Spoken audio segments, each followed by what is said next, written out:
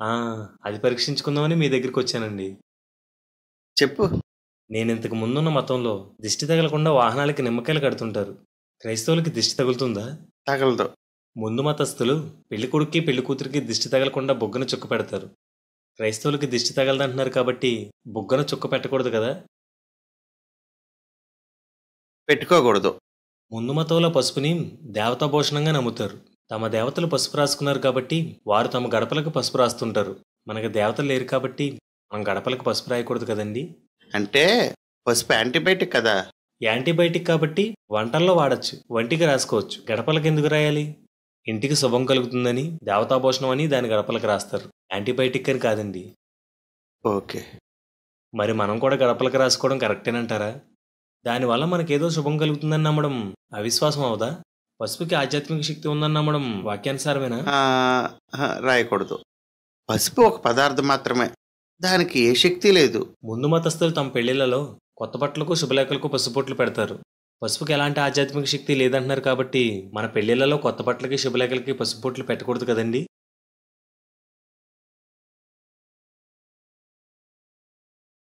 పెట్టకూడదు. ముందు మతస్థులు తమ శుభకార్యాలు తమలపాకులు పంచుతారు. మనం కూడా పంచచ్చా? తమలపాకు ఆరోగ్య ఔషధం. కాబట్టి పంచడం తప్పేం కాదనుకుంటాను. అలా అయితే మన కృతజ్ఞతా కూడికల్లో కూడా తమలపాకులు పంచచ్చంటారా? పాస్టర్ గారు, ఆరోగ్యం కోసం తమలపాకులు తినొచ్చు. అందులో తప్పులేదు. తులసి, వేప ఇలా ఆరోగ్యాన్నిచ్చే ఆకులు చాలా ఉన్నాయి. అవేవి ఇవ్వకుండా కేవలం తమలపాకే ఎందుకు ఇస్తున్నారంటే దేవతలు, రాక్షసులు అమృతం కోసం క్షీరసాగరాన్ని మదిస్తుంటే కల్పవృక్షం, కామధేనువు, అమృతం, ఆలాహలంతో పాటు తమలపాకు కూడా బయటకు వచ్చిందని వాళ్ళ శాస్త్రాల్లో రాయబడింది. అందుకే దాన్ని పవిత్రమైన దానిగా భావించి తమ శుభకార్యాల్లో పంచిపెట్టుకుంటారు. బైబిల్ దీన్ని ఒప్పుకుంటుందా? దీని వెనక ఎంత విషయం ఉందా? ఈ కథకు కానీ ఒక ఆకుకి పవిత్రత ఆపాదించడానికి కానీ బైబిల్ ఒప్పుకోదు. మరి మన వివాహాల్లో కూడా పెళ్ళికి ముందు పెళ్ళి కొడుకుని చేసేటప్పుడు తమలపాకులు పంచుతున్నారు. అది కరెక్టేనంటారా?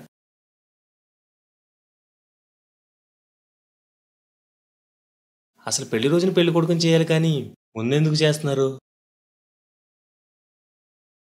వివాహం విషయంలో ప్రతి మతానికి కొన్ని ఆచారాలు ఉంటాయి. కులాన్ని బట్టి కూడా ఆ ఆచారాలు మారుతూ ఉంటాయి.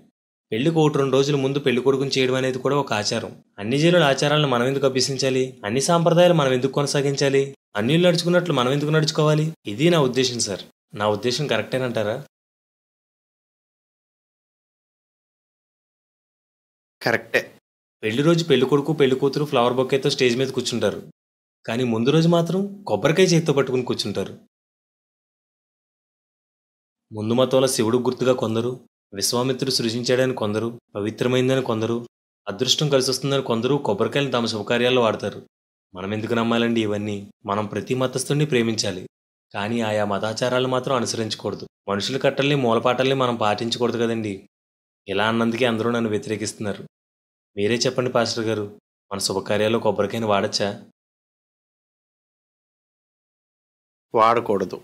ముందు మతంలో ఈ సృష్టిలోకెల్లా మొదటి వివాహం శివపార్వతులదని, వాళ్ళ వివాహం మామిడి చెట్టు కింద జరిగిందని, దాని గుర్తుగా ఎవరింట్లో వివాహం జరిగినా మామిడి తోరణాలు కట్టుకోవాలని వారి శాస్త్రాల్లో రాయబడింది. మనం దాన్ని నమ్మచ్చా? మన వివాహాల్లో దాన్ని అనుసరించవచ్చా? అనుసరించకూడదు. ముందు మతంలోని వారు బియ్యాన్ని, పసుపుని కలిపి అక్షతలు తయారు చేస్తారు.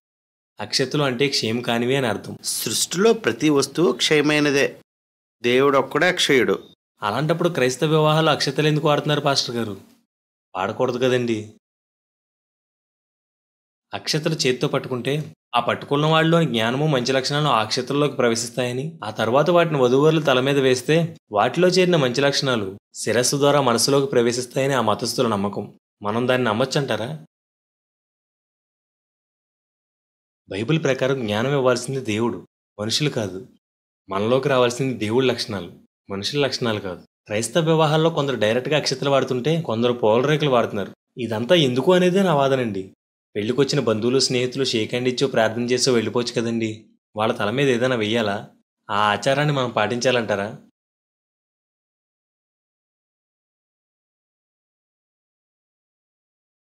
పాస్టర్ గారు, క్రిస్టియన్ మ్యారేజ్‌లో తాళెందుకు కడతారండి? అదా తాళి భారతదేశ సాంప్రదాయం. భారతీయులుగా మనం దాన్ని గౌరవించాలి. భారతదేశ సాంప్రదాయం అంటే ఇంచుమించు భారతీయులందరూ చేస్తున్నదే ఉండాలి. అంతే కదండి అంతే భారతదేశంలో నూట ముప్పై ఐదు కోట్ల మంది ప్రజలున్నారు ఇరవై తొమ్మిది రాష్ట్రాలు ఉన్నాయి క్రైస్తవ్యం కాకుండా ఏడు ముఖ్యమైన మతాలు ఉన్నాయి మూడు వేల కులాలు ఇరవై ఐదు వేల ఉపకులాలు ఉన్నాయి ఇంచుమించు వీళ్ళంతా తమ వివాహాల్లో తాళిగానే కడుతుంటే అప్పుడు తాళిని భారతదేశ సాంప్రదాయంగా పరిగణించవచ్చు అంతే కదండి అంతే కదా? ఏడు మతాల్లో హిందూ మత గ్రంథాల్లో మాత్రమే తాళి గురించి ప్రస్తావించబడింది. మిగిలిన ఏ మత గ్రంథంలోనూ దాని గురించి ఎక్కడా రాయబడలేదు. తాళి హిందూ మతానికి సంబంధించిన ఆచారం అని దీన్ని బట్టి మనం నిశ్చయించుకోవచ్చు. ఇరవై తొమ్మిది రాష్ట్రాల్లో కేవలం తొమ్మిది రాష్ట్రాల్లో ఉండే హిందువులు మాత్రమే తాళి కడతారు. బెంగాలీలు బీహారీలు ఒరియాలు కాశ్మీరీలు మార్వారీలు సిక్కులు ఇలా చాలా మంది తాళి కట్టరు. మూడు వేల కులాల్లో ఇంచుమించు సగం కులాల వారు తాళి కట్టరు. తాళి భారతీయులందరికీ సంబంధించింది కాదని దీన్ని బట్టి మనం నిశ్చయించుకోవచ్చు. చీరను భారతీయ సాంప్రదాయంగా భావించవచ్చు కానీ తాళిని భావించకూడదు సార్. భారతీయులంగా జాతీయ పతాకాన్ని గౌరవించాలి జాతీయ గీతాన్ని గౌరవించాలి ప్రభుత్వాన్ని న్యాయస్థానాన్ని గౌరవించాలి. మన దేశభక్తి ఇంతవరకు చూపిస్తే చాలండి. సరే తాళి భారతదేశ సంప్రదాయం కాదు కానీ తాళి కట్టమని బైబిల్లో ఉంది కదా. ఎక్కడ సార్? ప్రసంగి నాలుగు పన్నెండులో మూడు పేట్ల తాడు త్వరగా తెగిపోదని రాయబడి ఉంది. అక్కడ మూడు పేటల కోసం రాయబడిందా లేక మూడు మూడు కోసం రాయబడిందా? అక్కడ ఐక్యత కోసం రాయబడిందా పెళ్ళి కోసం రాయబడిందా? ఎందుకు సార్ వాక్యాన్ని వక్రీకరించుకుని మనల్ని మనం మోసం చేసుకోవడం? తాళి అనేది పూర్తిగా నేను ఇంతకు ముందున్న మతానికి సంబంధించింది. తాళిలో ఉన్న రెండు మంగళసూత్రాల్లో ఒకటి శివునికి రెండవది శక్తికి సూచనగా ఉన్నాయని మూడు ముళ్ళు త్రిమూర్తులను సూచిస్తాయని పురాణాల్లో రాయబడింది. బ్రహ్మ విష్ణు మహేశ్వరులకు సూచనగా ఉన్న మూడు ముళ్ళను తండ్రి కుమార పరిశుద్ధాత్మకు సూచనగా ఉన్నాయని చెప్పడం దారుణం కాదా? సరే. తాళి ఒక మతానికి సంబంధించిందే. కానీ ఇవన్నీ లేకుండా పెళ్ళి ఎలా చేయమంటావు? చెప్పు. ఆదాము అవ్వల పెళ్ళి ఎలా జరిగింది సార్? దేవుని మాటే మనుషుల్ని జతపరుస్తుంది. దేవుని మాటే ఆ బంధాన్ని కొనసాగిస్తుంది. ఈ నమ్మకాలు ఆచారాలు మనుషుల్ని నడిపించలేవు. అందరూ ప్రార్థించి వారిద్దరిని భార్యాభర్తలుగా జతపరిస్తే సరిపోదండి. ఒకవేళ ఇంకా ఏమైనా కావాలని వారో వారి బంధువులు అడిగితే బైబిల్ మార్చుకోవడము ఒకరినొకరు గౌరవించుకుంటూ దండలు మార్చుకోవడము ఇలా వాక్య విరుద్ధం కానివి అన్ని సాంప్రదాయాల్లో లేనివి చేయొచ్చు కానీ విగ్రహ సంబంధమైన వాటిని చేయకూడదు కదండి. రింగ్స్ తాళి ఇవేవి బంధాన్ని కలపవు కొనసాగించవు. దేవుడే కలుపుతాడు. చాలామంది వెడ్డింగ్ కార్డ్స్ మీద వివాహం అన్ని విషయాల్లో ఘనమైనది అని రాస్తారు. అలా రాయచ్చా? అది దేవుని వాక్యం. అందులో తప్పేముంది? కొరిందీలకు రాసిన మొదటి పత్రిక పదిహేను అధ్యాయం పదమూడవ వచనాన్ని సగానికి కత్తిరించి క్రీస్తు కూడా లేపబడలేదు అని రాయచ్చా? పద్నాలుగో వచనాన్ని సగానికి కత్తిరించి మేము చేయి సువార్త వ్యర్థమే అని రాయచ్చా? ఆహా అర్థం మారిపోతుంది కాబట్టి అసలు అలా రాయకూడదు.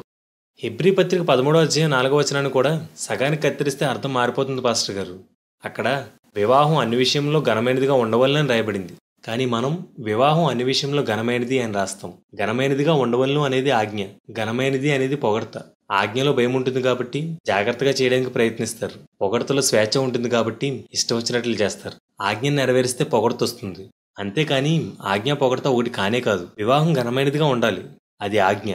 ఎవరి దృష్టికి ఘనంగా ఉండాలి? మనుషుల దృష్టికి కాదు. దేవుని దృష్టికి.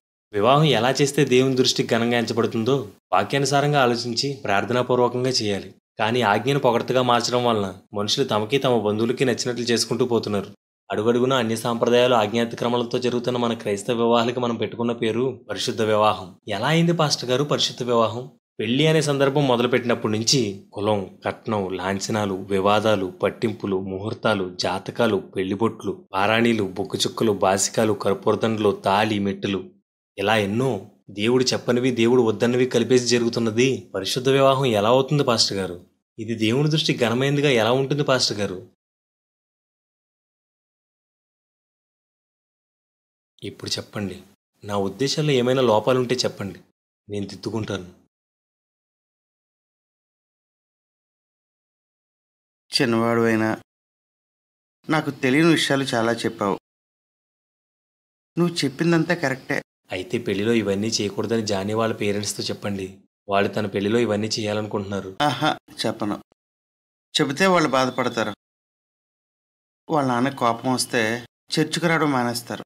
ఏంటి పాస్టర్ గారు అలా మాట్లాడతారు? విశ్వాసులకు సత్యాన్ని బోధించి అసత్యాన్ని ఖండించాల్సిన బాధ్యత మీ మీద ఉంది మీ బోధ వైపుకి వారు తిరగాలి కానీ వారికి నచ్చినట్లు మీరు బోధించకూడదు. ఒక సేవకుడిగా విశ్వాసలో ఉన్న లోపాన్ని సవరించకపోతే అది ఖచ్చితంగా పాపమే. వినడం వినకపోవడం వాళ్ళ ఇష్టం కానీ చెప్పడం మాత్రం మీ బాధ్యత. చెప్తే వాళ్ళు చర్చిలోంచి వెళ్ళిపోతారేమో అని భయపడుతున్నారు కానీ చెప్పకపోతే వాళ్ళు నరకానికి వెళ్ళిపోతారని బాధపడడం లేదు. ఏంటి సార్ ఇది? మీకు బోధించే అంతటి వాడిని కాదు. దయచేసి మీరే ఆలోచించుకోండి.